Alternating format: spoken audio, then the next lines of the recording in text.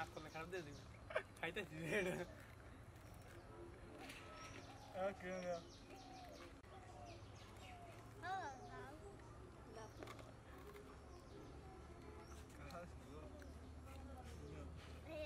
আইডিয়া আয়া